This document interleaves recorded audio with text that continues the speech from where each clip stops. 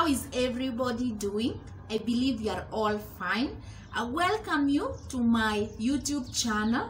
This is Jemie Naftaly on the Pediatric World, the only channel whereby we discuss about kids' welfare, medical problems, and we try finding solutions. Here we want we we are usually layman so that every person is able to understand. We want to be uh, layman because we are creating awareness on common illnesses affecting children while growing up. So welcome into today's episode and into today's episode we are continuing on our topic on severe acute malnutrition, the malnutrition in children. So today we are going to see how we diagnose severe acute malnutrition. When this child has malnutrition, comes to hospital, how are we able to know to go about uh, diagnosing? Remember in our last uh, uh, episode, we discussed on how these babies present and also the risk factors. If you haven't watched, please I refer you to the previous episode. So how do we diagnose a severe acute malnutrition? This involves a relevant history and also clinical examination. Here is upon us, uh, professional caregivers. When the child comes and you're thinking of malnutrition, they, you have to get a very detailed history. You want to, the history is we ask mothers on questions that will help us, will help us to lead us into malnutrition. And there are questions that are must ask. I mean, we must ask these questions. So these are uh, questions like what? Uh, the list of questions include number one, how is the child's appetite? Remember we say these babies lack, uh, they have poor appetite. So we ask the mom, how has been the child's appetite? What is the child uh, usually fed on? What is the common meal? The common meal that these babies is, uh, is given mostly. And the frequency we want to know the frequency after how long is this child fed this is a very very important questions uh, how long is the feeding done and who normally feeds the baby? This is also very very important. Whoever feeds the baby is it the mother? Is it the whoever takes care of the of the child at home and the mother is not there? This is a very very important question. Uh, other questions we ask is the child breastfeeding currently at that time that they have come to hospital are they breastfeeding? And if not why are they not breastfeeding? Why did they stop?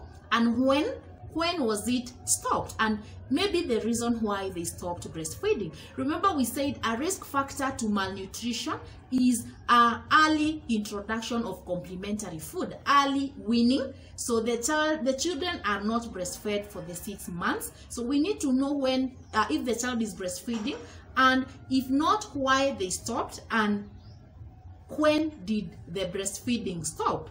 Uh, this is our nutritional history. We want to know uh, all these things about the feeding of this child. Everything about the feeding of this child.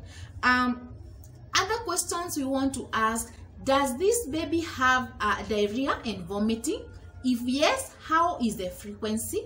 So this child the mother will tell you they started diarrheaing like a week ago. So how many times this is the frequency how many times were these episodes of diarrhea and vomiting? Very very important.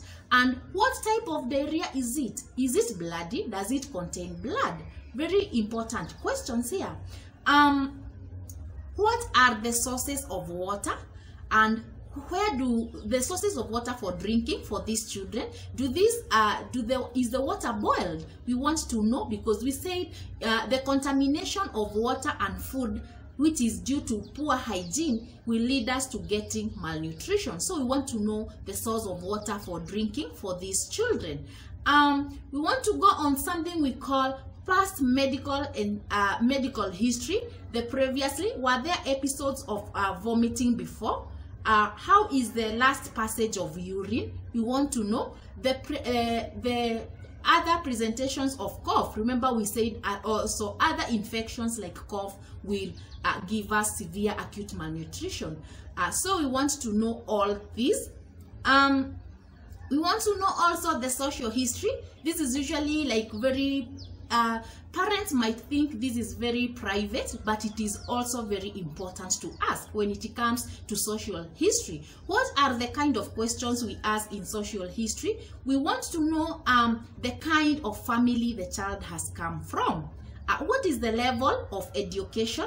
What is the level of education of these parents? Imagine we want to know this why are we asking about the level of education? Remember we said that ignorance lack of knowledge will make these parents not to they don't have they are not aware of what kind of of food they're supposed to give their babies not aware of what uh, protein uh, consists of and other vitamins and everything. So that's why we want to know the level of education. Very important here. Uh, their level of income yes how much maybe do they earn? Because are these parents again able to afford uh, the food for this baby? Remember that uh, the history is important. The social history here is very very important because the child's health uh, depends on the parents ability to afford good food. This is why we are asking all these things. Uh, some questions maybe i know they may be disturbing but we really want to get uh, deep into when so that we diagnose this severe acute malnutrition. So does the child have a cough again? Uh all these questions we need to really ask. That is all about a detailed history uh, of this child. How about physical examination? We also want to examine we said it is diagnosis is all about history taking and physical exam. How about physical examination? What do we do? We want to look for any signs of severe circulatory um, uh, impairment. This remember we said previously the shock we covered the shock. So the shock may come in because of uh, diarrhea and vomiting. So we want to see to examine and see uh, some of the uh, signs and symptoms of uh, shock. Are there uh, cold extremities and all that? Um, we also want to know their weight because children with severe acute malnutrition their weight is going to be way way below than the expected weight uh, with their age. So we really want to know their weight the length also we want to know any signs of infections uh, when we are we having um, breathing difficulties their temperatures are we having fevers again puffiness of the face remember we talked about edema so we want to see if the child is uh, has edema on the face severe palmar uh, uh, pallor so the pallor remember this is how we check for uh, the level of blood uh, how the HB level um, the HB is what we measure to know uh, the level of blood uh, in these children. So the palmar pallor is the palm is this one we say so it is going to be very very white and you see that we don't have enough blood here. So it is very white.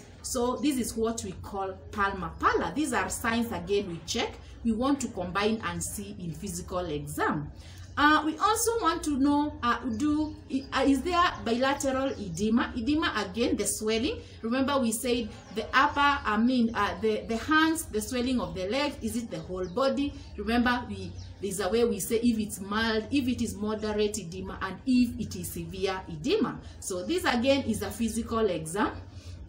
Uh, check for any signs of vitamin a deficiency uh, why do we want to know signs of vitamin A deficiency? It is because vitamin A deficiency worsens, even worsens the malnutrition. So we want to see if we have those signs of uh, uh, vitamin A deficiency. And these are some of these are corneal ulceration, the, the black part is the ulceration. Conjunctiva, are they dry? The conjunctiva is the white part of the eye. Is it so dry?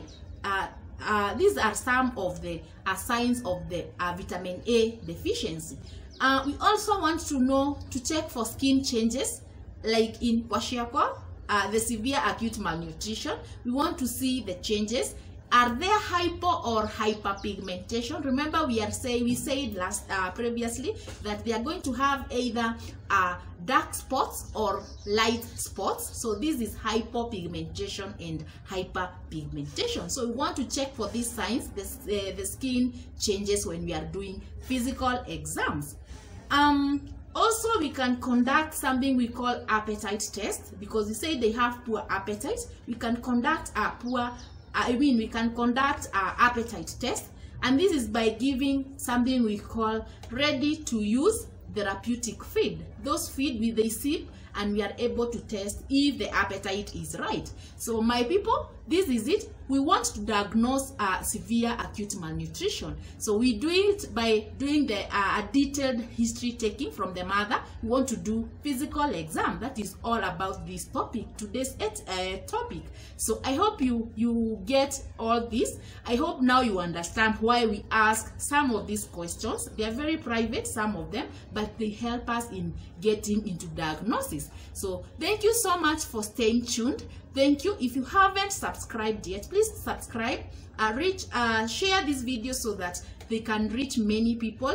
Leave a comment down on the comment section. Again in the end of the every episode there is my email there. You can check uh, you can write me an email on anything concerning this topic uh, so that we may discuss it. Even what you want us discuss next you can ask either on the comment section and also in my uh, in my email. So thank you again for staying tuned.